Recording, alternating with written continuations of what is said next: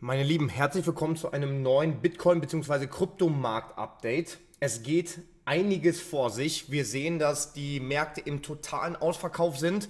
Und heute kommt direkt der nächste Klopper, nämlich die Verbraucherpreis-Kernrate bzw. der Verbraucherpreisindex, die CPI aus den USA. Da werden wir sehen, ob es geschafft wurde, die Inflation etwas nach unten zu drücken, was letztendlich sehr, sehr positiv von den Märkten aufgenommen werden sollte.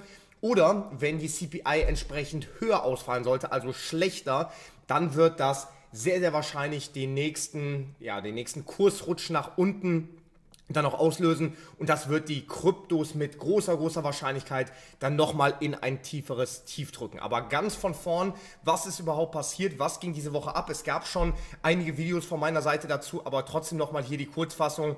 Ähm, Binance hat letztendlich angekündigt, FTT, also die eigene Währung von der Krypto-Exchange FTX, zu verkaufen.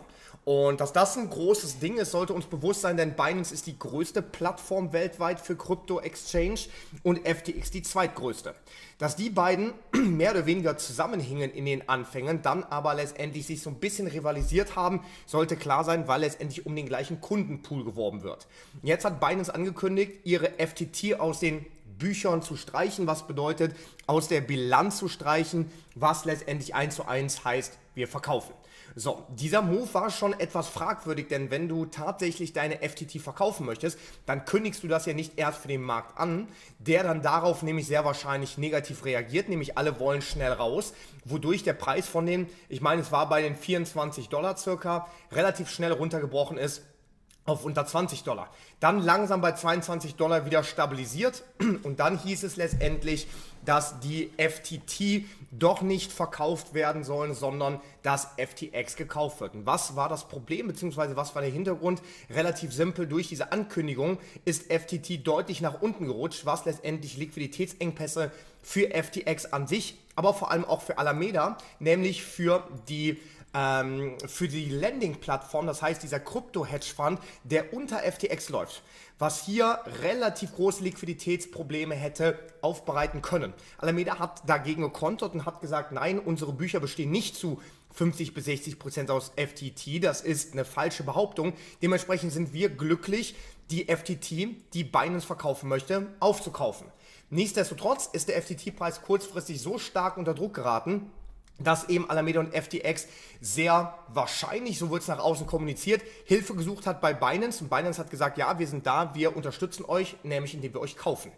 Und das war dann der Grund, warum FTT, wir können es uns mal anschauen im Chart, kleinen Moment, so ähm, gezetelt hat. Wir sind, wir haben, wir haben hiervon quasi gesprochen von diesen 24, 25 Dollar und heute Morgen sind wir, nachdem der Markt sich ein bisschen erholt hat, bei 2,43 Dollar.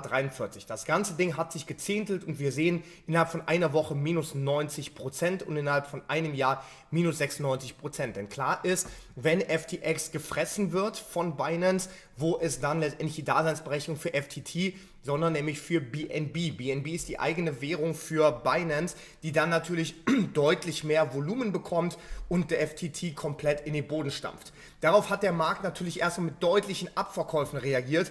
Dann kam der nächste Punkt.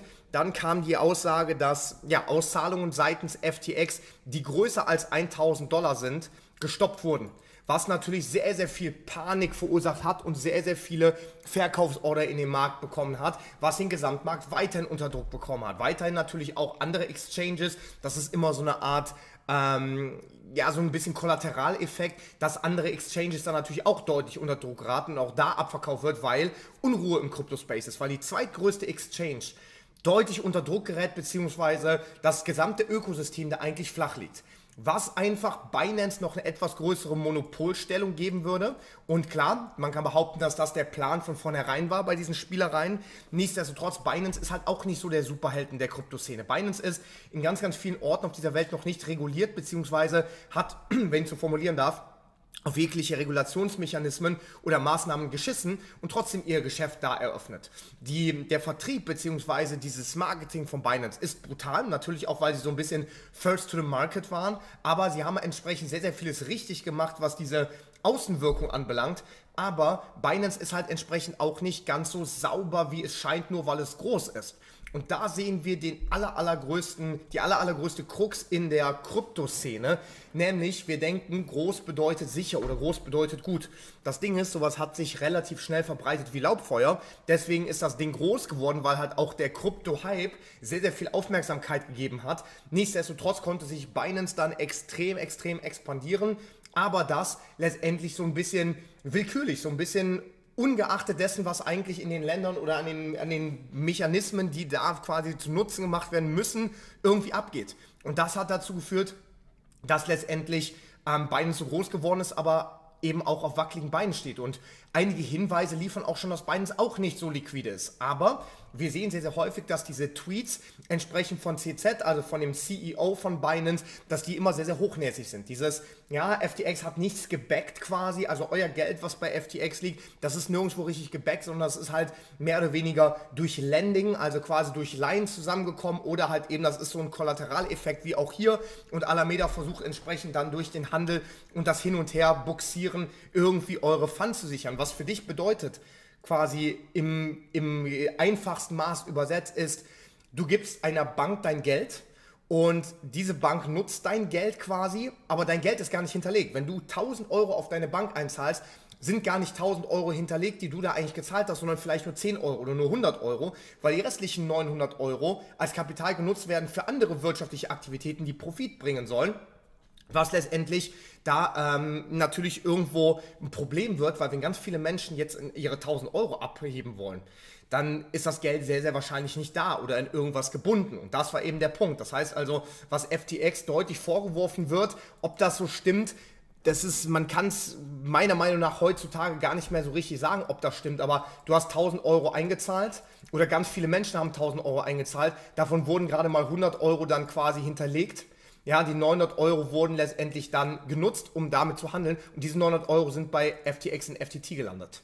Ja, um das letztendlich zu stabilisieren, um dieses Ökosystem aufrechtzuerhalten. Und deswegen könnte es da, und das war auch der Vergleich mit Three Arrow Capital beziehungsweise mit äh, Terra Luna und UST, ähm, wenn ganz viele Menschen jetzt dieses Geld haben wollen, dann würde FTT sehr, sehr stark abverkauft werden müssen. Weswegen dieser hohe Stock quasi, also diese hohe Bilanz an FTT von FTX bzw. Alameda so, so schlimm war, weil dann würde hier ganz, ganz viel abgekauft werden müssen, was das gesamte Staking, was das gesamte Ökosystem FTX und FTT ins Wackeln bringen würde. Dadurch könnten letztendlich die Transaktionen nicht mehr so günstig oder nicht mehr gut durchgeführt werden und dadurch würde es zu riesen Liquiditätslücken kommen. Wir schauen uns mal an, was CZ bzw. was auf Twitter abgeht. So, da sind wir auf dem offiziellen Twitter-Account von äh, CZ, also dem Binance CEO und ich sag dir ehrlich, da geht es gerade mehr ab bei der Bild-Zeitung oder bei RTL Exklusiv oder keine Ahnung was. Hier folgt quasi im Stundentakt immer wieder Neues, immer wieder Neues. Und wir sehen hier, dass sehr, sehr stark immer von dieser Transparenz gesprochen wird seitens CZ und so weiter und so fort, was letztendlich dann hier auch ähm, immer wieder quasi darstellt, dass sich Binance in eine höhere Position begeben möchte. Nämlich hier wird geschrieben, two big lessons, ja zwei große Lektionen. Never use a token you created as collateral. Das ist das, dass das Geld, was du quasi einnimmst oder was du verwalten sollst, dass das nicht in deinem eigenen Coin landet. Und zweitens, don't borrow, also leide nicht, if you run a crypto business. Um, don't use capital efficiently, have a large reserve. Und das ist genau das, was wir gerade angesprochen haben, dass das eben FTX so ein bisschen unangenehm vorgeworfen wird. Ja, Binance has never used BNB for collateral and we never, we never have taken on debt. Und das ist eben was, wo sich Binance jetzt deutlich quasi herausragen möchte. Ähm, sehen auch hier, all crypto exchanges should do Merkle Tree Proof of Reserves und so weiter und so fort. Wir sehen, hier wird einiges, einiges, einiges ähm, immer wieder quasi nach außen geworfen, damit man sich selber besser darstellt. Gerüchten zufolge, mach da gerne mal deine eigene Recherche. Stimmt das nicht so wirklich? Und deswegen Ihr wisst, ich bin eher pessimistisch, was den Crypto-Space anbelangt. Und ich bin jetzt durch diese Geschichten ähm, noch pessimistischer als zuvor. Wir müssen uns mal vorstellen, das ist quasi wie in unserer realen Welt, zum Beispiel die Deutsche Bank, klar, auch nicht mehr den besten Ruf, aber irgendwo haben die Banken noch ihren etablierten Ruf bei uns. Stell dir mal vor, vor 20, 30 Jahren, als so eine riesen Volksbank, die Deutsche Bank, zum Beispiel halt sagen, Liquiditätsprobleme bekommt und Millionen von Menschen, vielleicht sogar Milliarden von Menschen weltweit auf einmal nicht mehr an ihr Geld kommen können. Stell dir mal vor, was das für ein riesen Ding äh, auswirken würde. Und das ist das gleiche für den Crypto-Space hier gerade. Und deswegen bin ich extrem negativ gestimmt, egal was dabei rauskommt. Na, hier auf jeden Fall ist dann dieser besagte Artikel, FTX hat äh, nach unserer Hilfe gefragt. Hier sehen wir es to protect users, also um die Benutzer zu schützen, haben wir ein non-binding LOI letztendlich äh, unterschrieben intending to fully acquire FTX.com and help cover the liquidity crunch. Heißt also, sie wollten mit ihrer Liquidity da letztendlich dann aushelfen. Naja, was geht jetzt ab? Wir sehen, as a result of corporate due diligence, as well as the latest news uh, reports regarding mishandled customer funds and alleged US agency investigations, we have decided that we will not pursue the potential acquisition of FTX.com. Was bedeutet, vor neun Stunden wurde getwittert, dass sich sehr wahrscheinlich Binance und CTZ aus dem Business, aus dem Deal herausziehen wird. Damit bleibt FTX quasi, ja, das kleine Mäuschen in der Ecke, dem unfassbar geschadet wurde. Da ist ein riesen, riesen, riesen Schaden entstanden. FTX wird Millionen Nutzer verloren haben. Der Preis von FTT, der ist komplett im Arsch. Also da auch keine Hoffnung, dass das irgendwie in den nächsten Monaten dann wieder nach oben führen wird. Und ähm, auch Binance wird sicherlich da einen Image-Schaden durchbekommen, stellt sich hier ein bisschen als Held dar, aber trotzdem das Vertrauen im Crypto-Space ist dadurch noch mehr weg, zeigt, wie schlecht die gesamte Situation einfach noch um Krypto letztendlich ähm, generell so besteht.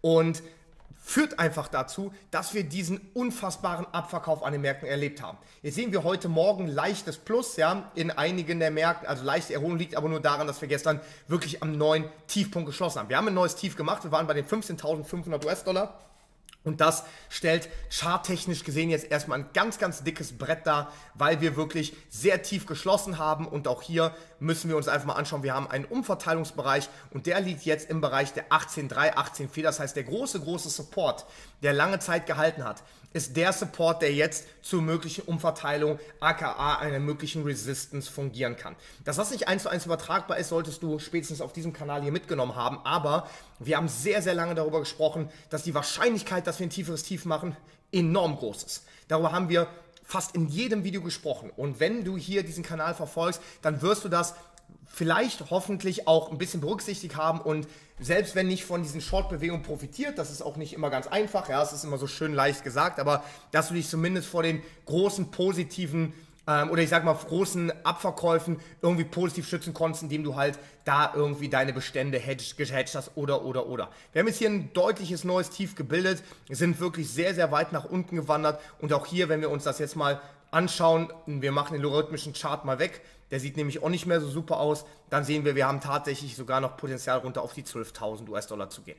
Ist das der Fall, dass das jetzt sofort kommt und schnell kommt? Naja, wir wissen ja nicht genau, was letztendlich seitens Binance und FTX hier noch alles ans Tageslicht kommt, aber so wahrscheinlich ist es ähm, nicht unbedingt, dass sich das Ganze stark nach unten beschleunigt, aber, und das ist noch die letzte News, die quasi heute kommt, wir haben den Verbraucherpreis. Und der Verbraucherpreis, die Inflation war ja früher sehr, sehr häufig Hohe Inflation heißt ja, viel Geld wird gedruckt, heißt ja, dass letztendlich ähm, zum Beispiel Bitcoin nach oben gehen sollte, weil Bitcoin deflationär ist, beziehungsweise limitiert und das war immer positiv zu sehen. Jetzt in den letzten Monaten hast du gesehen, steigende Inflation ist negativ für Bitcoin und zwar sehr.